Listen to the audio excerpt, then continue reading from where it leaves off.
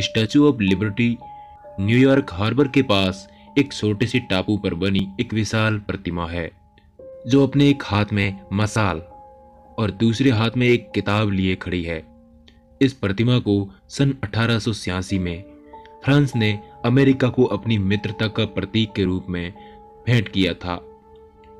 Statue of liberty को बनाने में लगभग नौ साल से ज़्यादा का समय लगा था। इसके कुछ भाग फ्रांस में बने थे, जिसमें इसका सिर भी शामिल है। आधार से लेकर मूर्ति की विशाल शिखर तक ऊंचाई 306 फीट है, जो कि लगभग तिरानवे मीटर है। प्रतिमा का कुल वज़न 225 टन, जो कि दो लाख पच्चीस हज़ार किलो का है। प्रतिमा के ताज से जो सात नुकीली कीले निकली हुई है, वो संसार के सातों महाद्वीपों को दर्शाती है। मिसाल को उन्नीस सौ चौरासी में तांबे की एक मिसाल के साथ बदल दिया गया था, जिस पर 24 किलो सोने का पत्रा चढ़ा हुआ है। इस प्रतिमा के बाएँ हाथ में एक किताब है, जिस पर अमेरिकी स्वतंत्रता दिवस 4 जुलाई उन्नीस की तारीख रोमन में लिखी हुई है।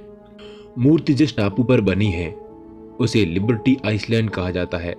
उन्नीस सौ छप्पन से पहले इस टापू को बेडलूज आइलैंड कहा जाता था। स्टैचू ऑफ़ लिबर्टी का बाहरी भाग तांबे से बना है। मूर्ति की ऊंचाई होने के कारण कई बार आकाशीय बिजली भी यहाँ पे टकराती है। साल उन्नीस और साल 1932 में दो लोग इस मूर्ति से कूदकर आत्महत्या कर चुके हैं। कुछ ऐसे भी जो कूदने के बाद बच भी गई हर साल 30 लाख से ज़्यादा लोग स्टैचू ऑफ़ लिबर्टी की यात्रा करते हैं। 28 अक्टूबर 2016 को यह मूर्ति का 130वां जन्मदिन था।